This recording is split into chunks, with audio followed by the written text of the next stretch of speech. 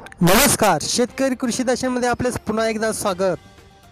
मित्रांनो बुरवी चक्रीवादळ तामिळनाडू व आंध्र प्रदेशच्या किनारपट्टीवरून जमिनीवर आल्यानंतर त्याची हळूहळू तीव्रता कमी होऊ लागली आहे.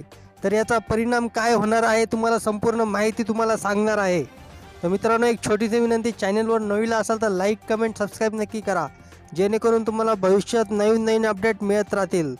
तर अधिक माहिती अशी का मित्रांनो बुरवी चक्रीवादळ निवळू लागले व थंडी वाढली आहे.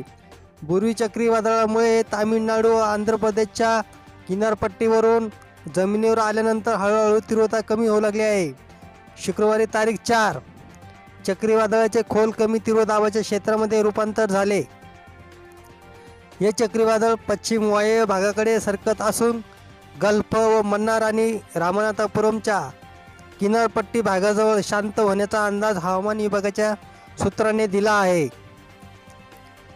तामिळनाडू आंध्र प्रदेश केरळच्या भागात धुमाकूळ घातल्यानंतर बुरेवी चक्रीवादळाची तीव्रता कमी होऊ लागल्याने वाऱ्याचा वेग कमी होऊ लागला आहे. त्यामुळे दक्षिण भारतातील लक्षद्वीप केरळ कन्याकुमारी आंध्र प्रदेश तामिळनाडू या भागात वादळी वाऱ्यासह मध्यम ते जोरदार पाऊस पडत आहे.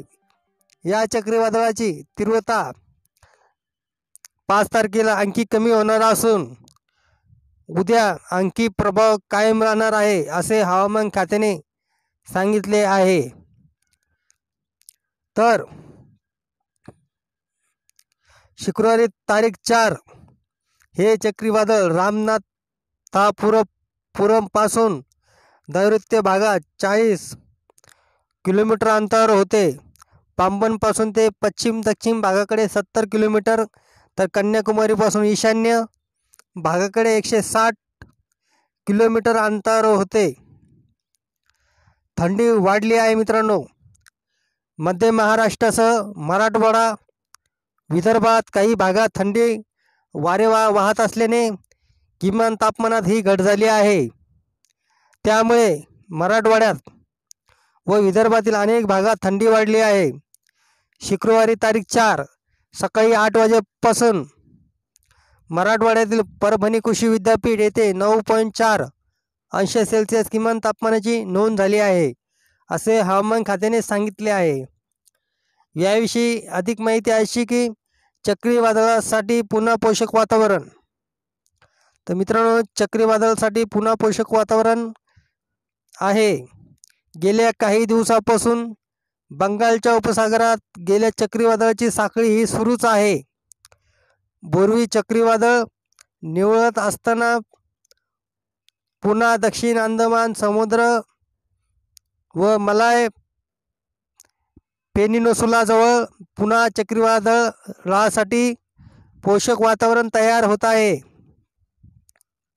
तर विविध शहरातील तापमान कंसात वाढ व घट झालेलं तापमान अंश सेल्सिअसमध्ये तुम्हाला मी सांगणार आहे. मुंबई सांताक्रूज एकोणावीस पॉईंट शून्य. ठाणे चोवीस अलिबाग एकोणीस चार रत्नागिरी वीस दोन. डव्हाणू वीस पॉईंट चार पुणे अकरा पॉईंट नऊ. जळगाव तेरा पॉईंट सहा कोल्हापूर सतरा पॉईंट दोन महाबळेश्वर तेरा पॉईंट चार मालेगाव चौदा नाशिक चौदा एक. निपाड दहा सहा सांगली पंधरा दोन.